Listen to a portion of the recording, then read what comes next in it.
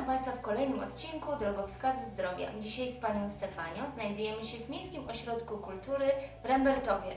Jest to bardzo nietypowa kuchnia i wyjątkowe miejsce, ponieważ zachowała się tutaj XVIII-wieczna kuchnia, w której nasze babki, prababki piekły chleb, przygotowały różne posiłki. Co my dzisiaj Pani Stefaniu będziemy robić w takim miejscu? No to jest historyczne miejsce. A proszę Państwa, tym bardziej się cieszę, że w takim miejscu jesteśmy, bo to jest wyjątkowy dom kultury. Tu przy Domu Kultury jest ogródek, w ogródku rosną zioła, rośnie polski len, proszę Państwa. Tu za mną jest polski len. Jeśli ktoś już nie pamięta, jak wygląda, to proszę popatrzeć. To, jest, to są już y, ziarenka tego, takie ma łebki malutkie i tam właśnie w tych, tych małych y, w tych małych łebkach właśnie są nasionka. Natomiast y, na wiosnę to ślicznie kwitnie, tak jakby się niebo odbijało w tym polu. To jest właśnie niebiański kolor polskiego lnu. I tym bardziej się cieszę, że są ludzie, którzy jeszcze dzieciom pokazują, że taki polski len rośnie na polach, że takie są zioła, że można upiec taki chleb. Proszę zobaczyć, to jest polski chleb, taki jak drzewiej bywało, z ziarenkami jeszcze dodatkowo i nie ma żadnych konserwantów czy polepszaczy. Czy więc te moje słowa, gdzie ja od wielu lat pracuję i mówię o tym zdrowym odżywianiu, o polskich ziołach, to daje efekt, że w przedszkolach gotuje się kaszę jaglaną, że piecze się w domach kultury chleb normalny polski, to naprawdę to się człowiek cieszy. Przez wiele lat rozpowszechniam takie hasło: cały naród pije herbatki ziołowe.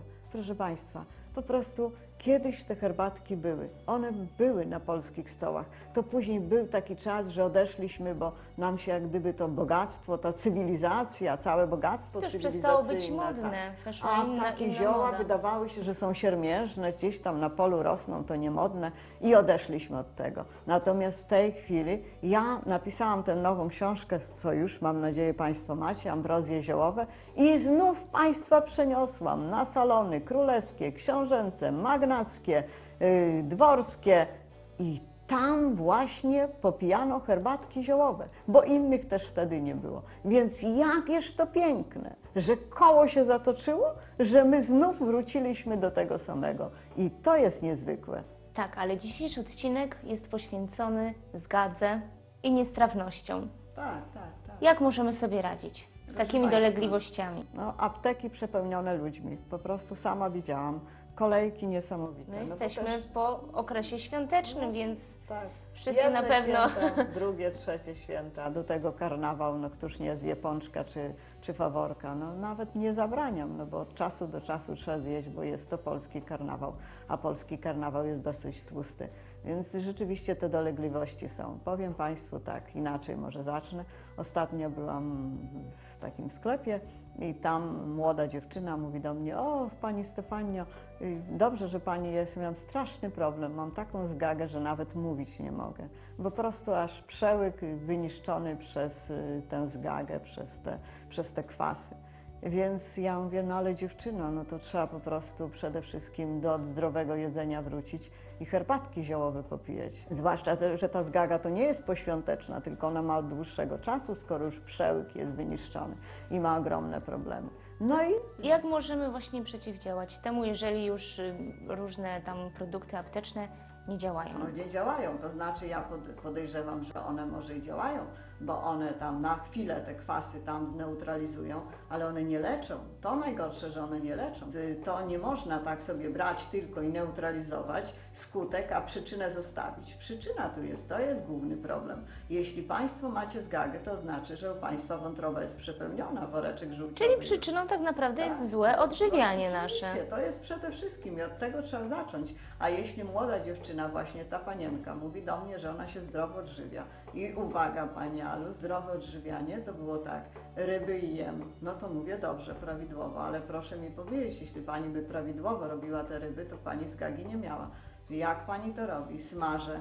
Ja mówię, smażona ryba? To mówię, jest jedno z najgorszych tych dań trujących, bo rybę się smaży w tłuszczu, który nie jest to rybi tłuszcz, tylko całkiem inny, dodatkowy.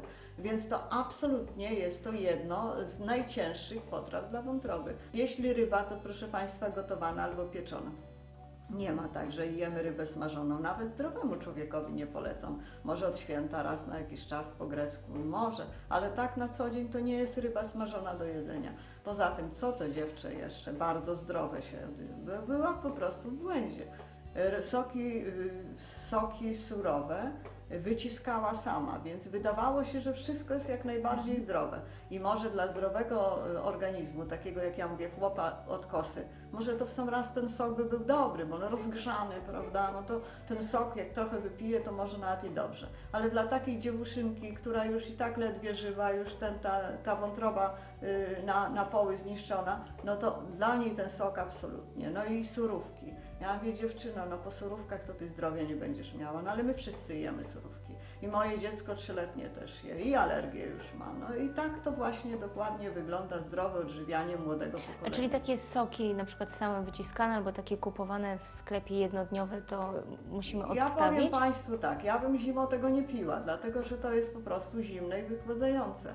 I jeśli jest coś wychładzające, no to ewentualnie w małych ilościach, ale no, po co zimą pić surowe soki, jak mamy kapustę kiszoną, ogórek kiszony, mamy cebulę z olejem, powie, Państwo powiecie, a co to za jedzenie w porównaniu z takimi smakołykami, które się w sklepie widzi i mówi się, że ma tyle witamin. Ale Państwo musicie jedno zrozumieć, że to, co nauka zbadała, że to ma witaminy, bo to ma witaminy, to ma mikroelementy, tylko czy to organizm przyjmie, czy to organizm przyjmie, bo jeśli wątroba jest bardzo słaba, jeśli żołądek bardzo źle pracuje, że aż jest zgaga, czy jakieś tam niestrawności, to teraz jak ten organizm to przyjmie? Czy on to przyjmie? A jeśli nie przyjmie, to te mikroelementy, witaminy pójdą do krwi nieprzetworzone, nieprzerobione i będą się odkładały jako blaszki miażdżycowe, będą odkładały się na mięśniach, na stawach. I po co Państwu tworzyć chorobę? Państwo siłą tu nic nie zrobicie, tylko mądrością. Dlatego musimy odróżnić jedzenie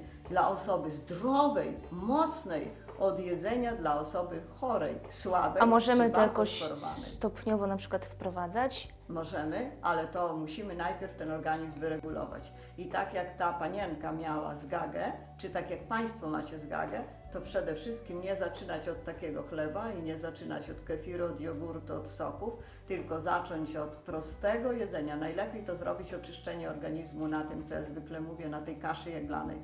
Kasza jaglana, taki krupnik ugotować i choć 2-3 dni, jak już Państwo czujecie, że ten organizm jest niewydolny, to po prostu takiego oczyszczenia zrobić. I nie mówcie mi Państwo, że tego się nie da zrobić. Ja zawsze powiadam tak, ci co szli na Sybir, ci co walczyli w powstaniach, to żeby oni mieli takie jedzenie, jak my teraz mamy, to mój Boże, całowaliby ziemię każdego dnia i kilka razy dziennie, zresztą i tak tam na Sybirze robili.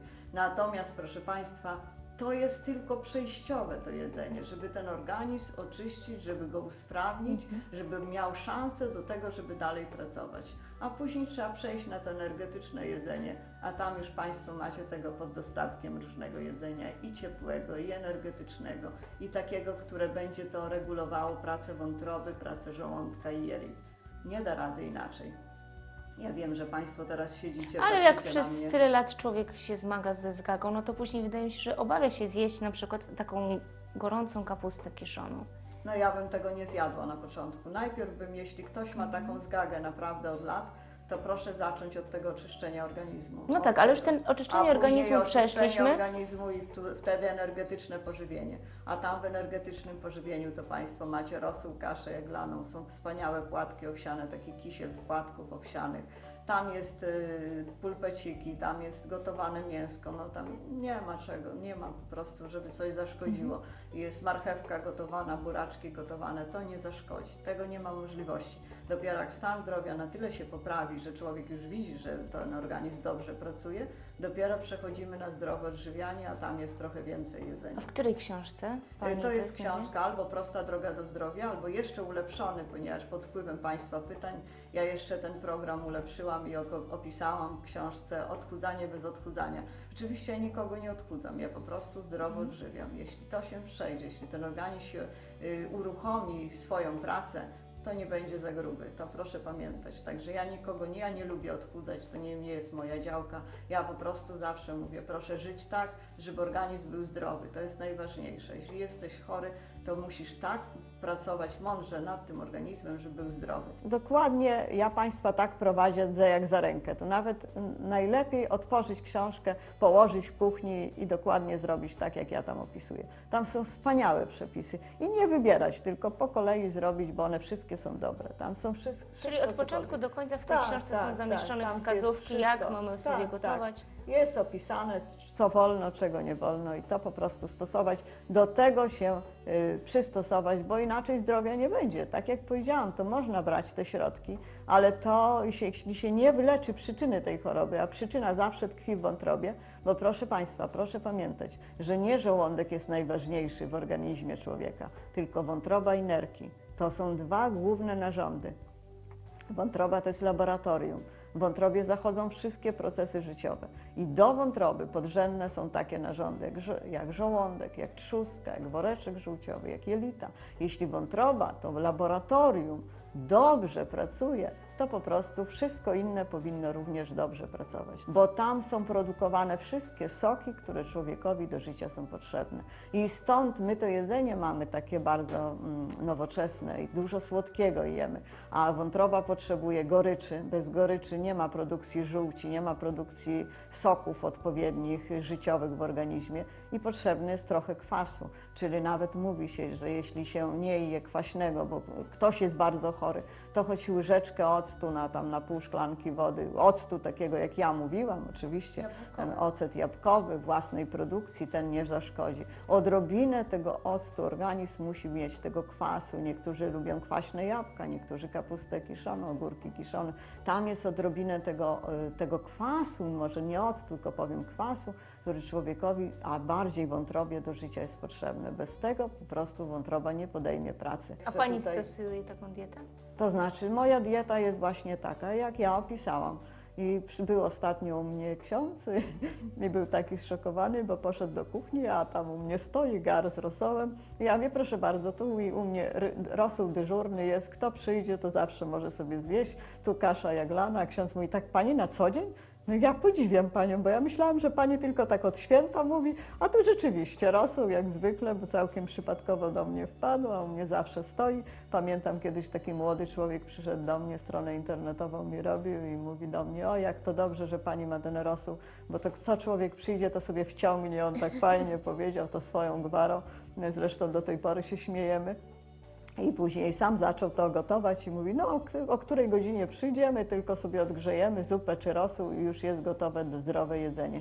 I Państwo się tego pilnujcie, to jest naprawdę dobre jedzenie. Czego nie ma w domu, to nie ma, ale takie ciepłe jedzenie, które można w każdej chwili odgrzać, to ono powinno być i ono zgagi nie spowoduje. Na pewno, nie ma takiej możliwości. Czyli żeby pozbyć się zgagi na sam początek, Jedzenie. zaczynamy oczyszczaniem Tak, organizmu, tak, tak. czyli rosół Tak. z kaszą jaglaną. Oczywiście, że jeśli to jest człowiek młody i ma tę zgagę tam powiedzmy pod wpływem tam trochę sobie zjadł jakiegoś tam jedzenia, e, no przedawkował to jedzenie e, i dostał tej zgagi, to, to pewnie aż nie musi tak bardzo rygorystycznie do tego podchodzić. Ja tu bardziej mówię o tych osobach, które zgagę... Jakieś herbatki nie ma Pani na Tak, to? mam właśnie dlatego te, mówię dla młodych, takie co to jednorazowo się pojawi, to wystarczy te herbatki. Natomiast dla tych starszych, którzy rzeczywiście tę zgagę mają i to jest męczące i to jest niebezpieczne, to jest po prostu niebezpieczne, to trzeba się naprawdę dokładnie do tego przyłożyć. Zrobimy herbatkę czy- mistrzowską, Pani Alu, zrobimy herbatkę mistrzowską chociażby po to, żeby nam się cieplej zrobiło.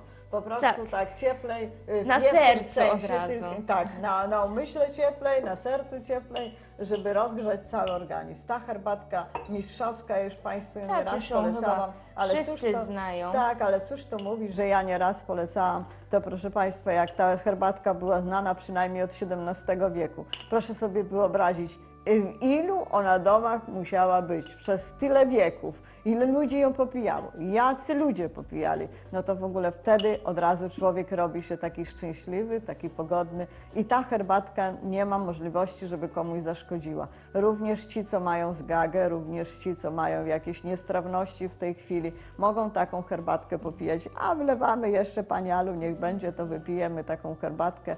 Tu jest i majeranek, i kminek, i, i proszę Państwa, nyżek, No i ta dziewanna nasza wspaniała. Wspaniała i owoc, dziewczyna. Ta wspaniała dziewczyna, ja to zawsze mówię, jaka wielka, jaka potężna, no trzy metry taka dziewczyna nam się uhodowała. Ja to stoję przy niej jak dzieciątko, mam metr 50 wzrostu, a jak ona ma trzy metry, no to taka malutka przy niej stoję, ale za to mam taką piękną ochronę. Jak stoję przy dziewannie, to praktycznie nikogo się nie boję i niczego się nie boję, bo wiem, że ona zawsze obroni. I to od chorób i od, od wszystkiego innego. Także jest to wspaniała, wspaniała kobieta polska. Taka polska, polska kobieta, silna tak. Natomiast, proszę Państwa, herbatkę za chwilę rozlejemy i wypijemy sobie z e, winkiem naszego króla Władysława IV Wazy, czyli miast śniadania, łyk radości z rana. Zawsze ta radość się przydaje i proszę Państwa, takie po prostu mamy teraz te dni takie niepogodne. E, No, więcej jest zachmurzone niż tego słońca. No taka jest zima, no w Taka końcu aura. środek zimy i nie ma się co dziwić. Dlatego ta herbatka mistrzowska jest piękna, winko króla polecam, bo ono jest z takich ziół, że odnawia nie tylko ciało, ale i ducha. I ta radość, ta przepiękna radość, co nieraz ratowała króla z różnych opresji i pozwoliła mu pozałatwiać różne sprawy, więc to mamy. To już herbatkę już możemy sobie przelać, będzie nam przyjemniej mówić czy coś o dalszych sprawach. tak, tak, są specjalne zioła od zgagi, ponieważ to jest herbatka na cały organizm, ona cały organizm usprawnia. Natomiast tak i możemy dolać oczywiście e, tego naszego winka. Ja go os- osobiście bardzo lubię to winko. Ono jest takie, mm, takie ciekawe właśnie z tej radości, e, a jednocześnie mm, taka jakoś daje taką pogodę ducha, taki trochę może inny świat wprowadza, także bardzo lubię to winko, wyjątkowo to winko obok, obok świętej Hildegardy, to chyba jedno z moich ulubionych win. Natomiast na zgagę, proszę Państwa, mamy tu wspaniały nalewkę, to jest nalewka, to jest nalewka z tataraku. Tatarak, proszę Państwa, czy Państwo pamiętacie tatarak? Ten tatarak Listki ma takie jak wstęgi i gdy były zielone świątki, to rozkładało się na podwórkach, wieszało się w oknach i one fruwały, te listki na tym y, wiosennym wietrze.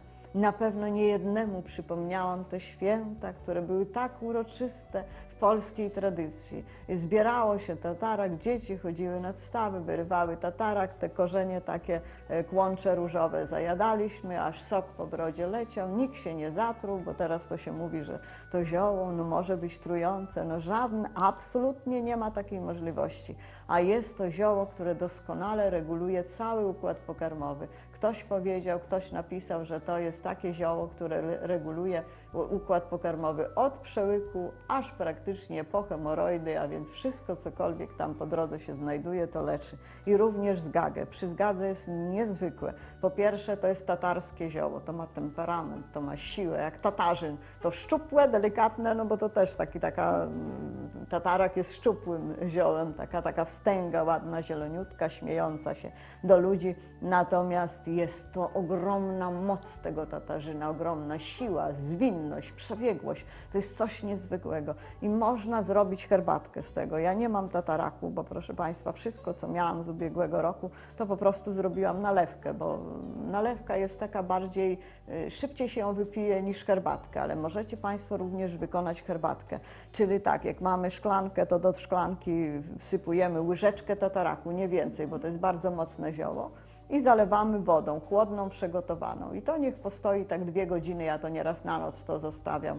Maceruje się nawet całą noc, ale możecie Państwo nawet na dwie, trzy godziny później przecedzić i lekko podgrzać, żeby to było ciepłe. I pijemy łyk przed jedzeniem, łyk po jedzeniu. Czyli proszę Państwa, niewiele tego pijemy, ale też i zioło jest w smaku no, takie mocne. Mocne to nie jest tak jak herbatka mistrzowska, że ona jest delikatna, że to jest taki delikatny, yy, delikatny posmak dla całego ciała. To jest po prostu ziele tatarzyna, więc to jest ta tatarska dusza niezwykła, silna. I stąd A też tatarak możemy sobie zakupić można w kupić w sklepie taki ziołowym, suszony może suszony być, tak? korzeń Aha. i wtedy Państwo łyżeczkę tego korzenia i popijacie delikatnie, czyli taką szklankę, jak Państwo macie tyle w szklance tego, to na sześć razy proszę sobie podzielić i wypić, czyli taki głębszy łyk przed jedzeniem i po jedzeniu. I to jest bardzo dobre. Niektórzy mówią, że ta herbatka jest dla niego bardzo dobra, nawet lepsza niż nalewka. na, nawet skuteczniejsza niż nalewka. Ale przepis na nalewkę też możemy Na znaleźć przepis, w książce, tak, ale to proszę Państwa, ta nalewka, no to też prościutko się to przecież robi. Przede wszystkim wsypujecie Państwo 10 łyżek do takiego słoika, jak tu chociażby mamy i proszę wlać 10 łyżek tataraku i proszę wlać pół litra spirytusu, to by było najlepiej. Ale nie może być spirytus ten 98, czy ileś on tam ma procent, tylko musi być 70%. To wtedy Państwo robicie w ten sposób, że mm, odlewacie Państwo pół szklanki spirytusu i wlewacie Państwo do tej wody, do niego wody. I macie Państwo gotowy spirytus. Mówię o tym, bo wszędzie jest napisane spirytus 70% i on jest naprawdę taki do nalewek najlepszy, bo nie niszczy ziół, żeby nie wyniszczyć wartości tych ziół. No i macie Państwo nalewkę, dokładnie taką jak tu podajemy. Taką nalewkę po jedzeniu, pół łyżeczki czy łyżeczkę można wypić wtedy, gdy zgaga męczy. Mało tego, gdy jest niestrawność, gdy są problemy z wątrobą, e, gdy są problemy z jelitami. Taka nalewka to jest pogotowie świętego e, Rafała Kalinowskiego, bo ten Rafał Kalinowski, święty nasz polski, on właśnie po Sybirze miał ogromne problemy z układem pokarmowym. I takie pogotowie ratunkowe tatarakowe go zawsze ratowało. No i warto do takiego pogotowia oczywiście wrócić. Zapraszamy Państwa do zrobienia sobie y, takiej nalewki z tataraku, co pomoże y, w walce z gagą. Jak również zapraszamy na naszą stronę internetową www.tvmyślniktrwam.pl gdzie w dziale Video Stream są dostępne wszystkie nasze odcinki z Panią Stefanią. My się żegnamy i zapraszamy na kolejny odcinek już za tydzień.